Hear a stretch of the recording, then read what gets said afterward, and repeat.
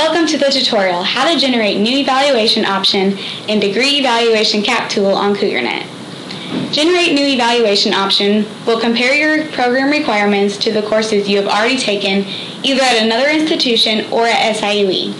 Students and advisors will be able to generate a report detailing the requirements they have met and which requirements they still need to complete. This report is called an evaluation. Let's begin using the Generate New Evaluation option.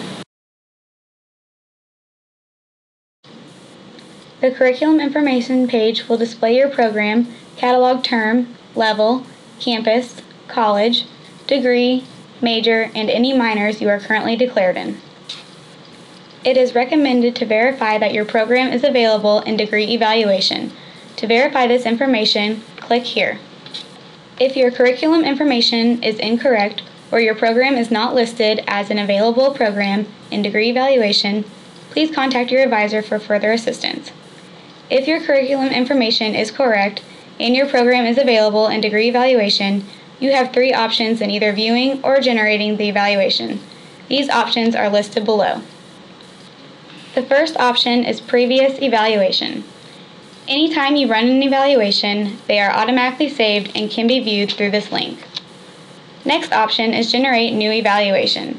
It will compare your course history and any course you are currently completing to program requirements listed in the above curriculum information.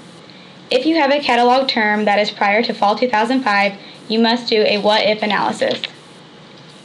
The last option is the what if analysis. The what if analysis can be used to help answer the hypothetical questions what is affected if I would change my major, add a minor, or even update my catalog term?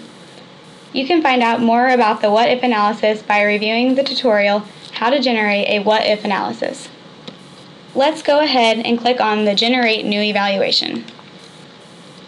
This will bring up your program, degree, and major you are currently declared in. You must click on the radio button next to the program. Then select your graduation term. If the term you are anticipating graduating is not listed in the drop-down menu, please select the default term. If the term is listed, then select the appropriate term. Once your radio button is clicked and your term is selected, then click on Generate Request. Now your request is generated. You will have three views to view your request in. General Requirements is an overview of your compliance. Detail Requirements is recommended because it shows the most detailed version of your compliance. Additional information can be used to see why certain courses were not used or rejected in certain areas. Let's go ahead and click on the radio button next to Detail Requirements, then click Submit. Thank you for joining us today as we walk through the steps of how to generate a new evaluation option in Degree Evaluation CAPP tool on CougarNet. Please join us in our next tutorial, how to utilize the what if analysis in degree evaluation. For more information, please visit us at www.siue.edu registrar.